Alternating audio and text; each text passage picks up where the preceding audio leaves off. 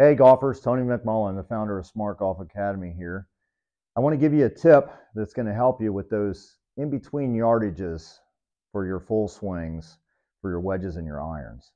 It's a real easy way for you to not have to change your golf swing, but get a little better outcome, a little more control over that yardage, that lesser yardage, if you will. But first, we'd love it if you'd give us a like and a subscribe to the channel here.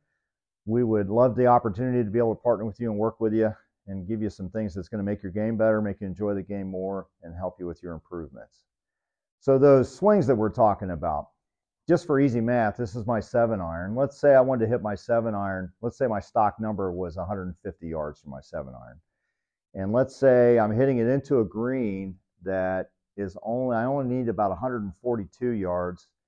And there's water on the backside of the green. So going long really isn't a isn't going to be a good option for us. So 150 for my seven iron, and let's say my eight iron, I hit it 135, 137, somewhere in that range there. So I'm going to have to hit my eight iron harder, which usually doesn't work out very well, or I can take a little bit off my seven iron. So taking a little bit off, I'd like to do that, but I really don't want to change my swing. Here's how we're going to do that, okay? My normal grip, my positioning, my hand positioning on the club, usually there's about an inch, maybe at least one finger, maybe a little bit more underneath between my hand and the top of the club. Okay. When I say top, I mean grip side. All right. So when I grip the club, that's what we normally have. Okay. So what I'm going to do is I'm simply going to choke down on the club one finger. So I'm going to move this little finger right here. I'm going to move it to where my ring finger is. Okay. On the club. All right, so now I've got more of the club showing there. What does that do for us? Well, quite simply, it makes us shorten the circle. So the radius that we would have with a normal grip would be about half an inch to an inch longer. Okay, so a little bigger swing circle, that's going to launch the ball just a little bit further. By shortening up your grip just a little bit, that's also going to affect that circle. It's going to make it smaller. When you hit the ball, it's not going to travel quite as far. But the best news is that you don't have to change your swing or your setup at all. You're just going to make the same swing, but instead of hitting it 150 yards, you're going to hit it more like 105 or 145 yards, somewhere in that range right there, 142 to 145. Again, we don't change the swing.